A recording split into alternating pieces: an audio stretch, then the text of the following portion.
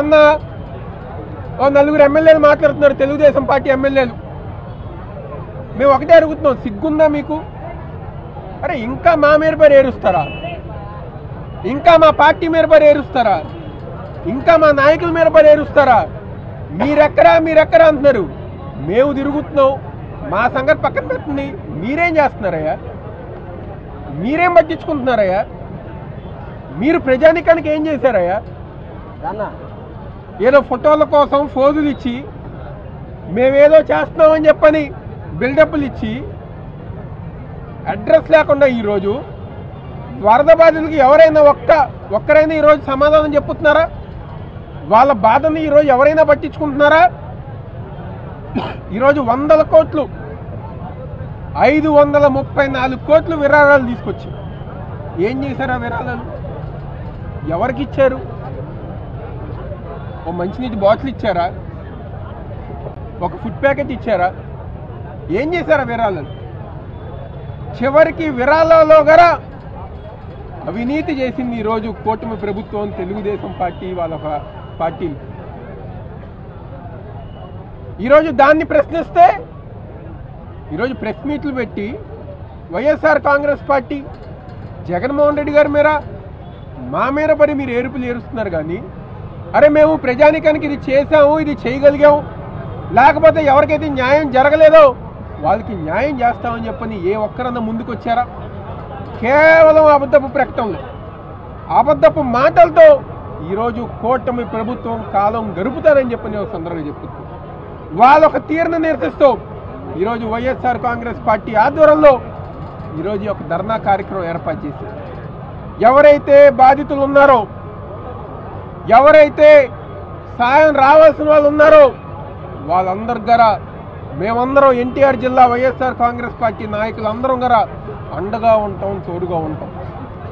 ఈరోజు ఈ రాష్ట్రంలో గుర్తుపెట్టుకోండి కూటమి ప్రభుత్వం.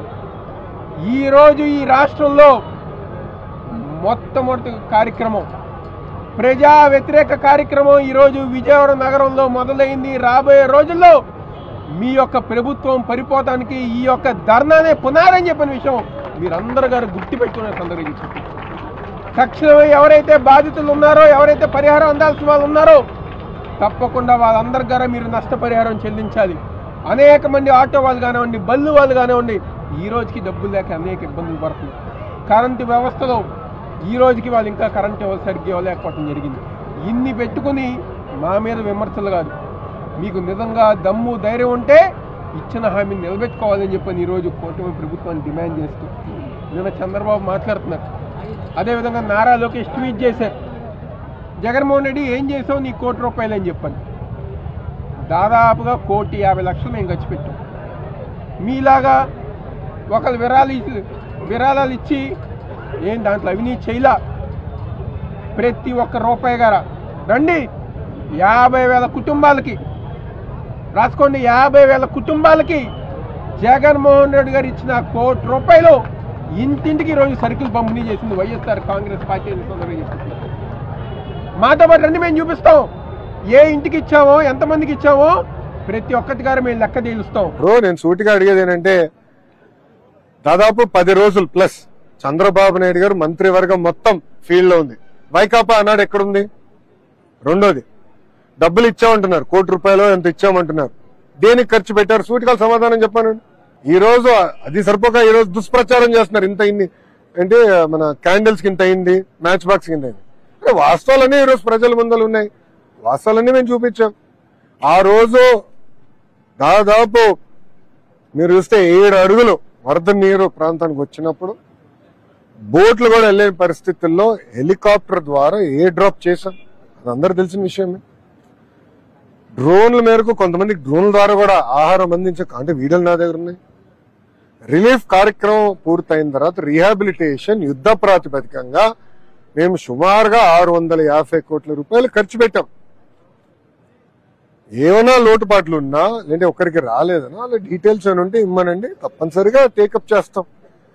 మేము ఎక్కడ నూరుకి నూరు శాతం చేసాం చెప్పట్లేదు. కొన్ని పొరపాట్లు జరుగుండొచ్చు. జరుగున్నప్పుడు డీటెయిల్స్ ఇవ్వండి. తప్పనిసరి సరిదిద్దుకునే మేము ప్రభుత్వం మన ప్రభుత్వం సిద్ధంగా ఉంది.